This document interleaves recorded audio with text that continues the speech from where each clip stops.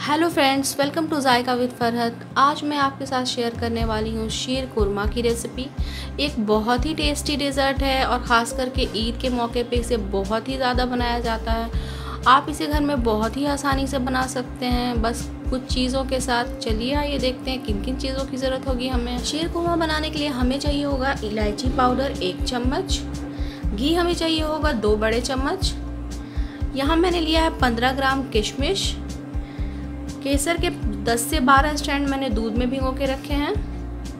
यहाँ मैंने लिया है 150 सौ कंडेंस्ड मिल्क अगर आपके पास कंडेंस्ड मिल्क ना हो तो आप इसकी जगह चीनी यूज़ कर लें अपने स्वाद अनुसार। यहाँ मैंने कुछ ड्राई फ्रूट्स लिए हैं, जिन्हें मैंने पानी में चार से पाँच घंटे के लिए भिगो दिया था और उसके बाद बहुत अच्छे से चॉप कर लिया है। यहाँ मैंने लिया है पिस्ता, पंद्रह ग्राम, बादाम, पंद्रह ग्राम बादाम का छिलका मैंने उतार के इस तरह से कट कर लिया है। ये है ड्राई डेट्स, छुहाड़ा भी कहते हैं इसे, सूखा खजूर। और यहाँ मैंने लिया है काजू 15 ग्राम। इसे भी मैंने फाइनली चॉप कर लिया है। दूध हमें चाहिए होगा एक लीटर।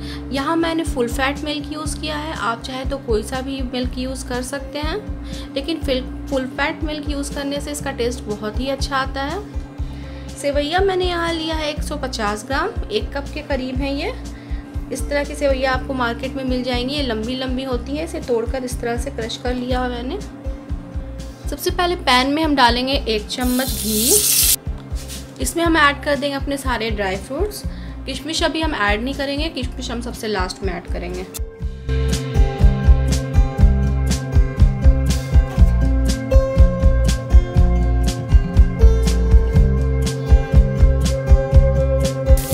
को आप स्लो ही रखें, वरना आपका ड्राई फ्रूट जल जाएगा। इसे हम भूनेंगे दो से तीन मिनट के लिए।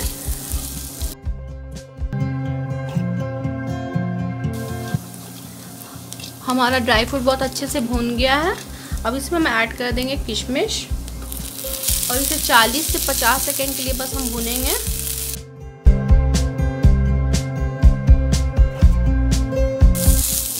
ये अच्छे से भुन गया है। गैस ऑफ़ कर लेते हैं, निकाल लेते हैं इसे हम। इसी पैन में हम वापस से डालेंगे एक चम्मच घी। और अपने सेवई को हम इसमें भून लेंगे। सेवई को हमें तब तक भूनना जब तक इस पर ब्राउनिश तक कलर ना आ जाए। पर ध्यान रहे, हमें बीच बीच में इसे चलाते रहना है ताकि हमारा सेवई जले ना। और फ्लेम को हम मीडियम ही रखेंगे। हमारी सेवैया बहुत अच्छे से भून चुकी हैं। ये देखिए, बहुत अच्छा कलर आ गया है। बहुत ज़्यादा इसका कलर डार्क भी नहीं करना है। इतना ही कलर हमें इसका करना है। अब इसे हम निकाल लेते हैं।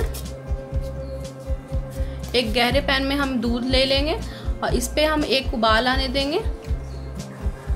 दूध में एक उबाल आ चुका है। इसमें अब हम ऐड कर देंगे अपने सारे ड्राई फ्रूट्स। थोड़ा सा बचा लूँगी मैं गार्निशिंग के लिए। इसे अब हम पाँच मिनट के लिए मीडियम फ्लेम पे पकाएँगे ताकि दूध थोड़ा रिड्यूस हो जाए। इसमें अब हम ऐड कर देंगे अपना सेवई। साथ ही में इसमें ऐड कर देंगे कंडेंस्ड मिल्क अब इसे हम स्लो फ्लेम पे पकाएँगे 10 मिनट के लिए। बीच बीच में आप चेक करते रहें, ताकि ये उबले ना या फिर नीचे पकड़े ना। 10 मिनट हो चुके हैं। ये देखिए हमारा शी कुरमा बिल्कुल रेडी है। हमारी सेवई और ड्राई फ्रूट बहुत अच्छे से पक चुका है। ये देखिए। और रिड्यूस हो चुका है हमारा मिल्क भी बहुत अच्छे से, गाढ़ा हो गया है हमारा सेवई। अब इसका गैस हम ऑफ़ करते हैं और इसमें हम ऐड कर देंगे अपना इलायची पाउडर और ये केसर वाला मिल्क अगर आप केसर यूज़ नहीं करना चाहते तो आप इसकी जगह केवड़ा एसेंस भी डाल सकते हैं, चार से पाँच बूंद। या फिर आप इसे प्लेन भी रख सकते हैं, या ऐसे भी बहुत ही टेस्टी लगता है खाने में। तो हमारा शेर कुरमा बिल्कुल रेडी है। अब हम इसे रूम टेम्परेचर पे आने देंगे और फिर हम इसे एक घंटे के लिए रेफ्रिजरेट करेंगे ताकि ये और अच्छे से ठंडा हो जाए। ठंडे होने पर इसका स्वाद और भी अच्छा आता है। और ठंडे होने के बाद ये कुछ और भी गाढ़ा हो जाएगा।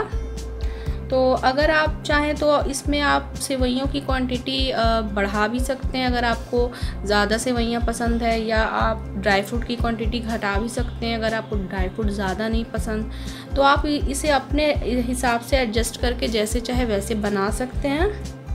तो अब हम कर लेते हैं इसे रेफ्रिजरेट एक घंटे के लिए। एक घंटा हो चुका है, हमारा शेर कुरमा बहुत अच्छे से ठंडा हो चुका है और ये काफ़ी गाढ़ा भी हो चुका है, ये देखिए, पहले से। अब हम इसे गार्निश कर लेंगे थोड़े से ड्राई फ्रूट्स के साथ।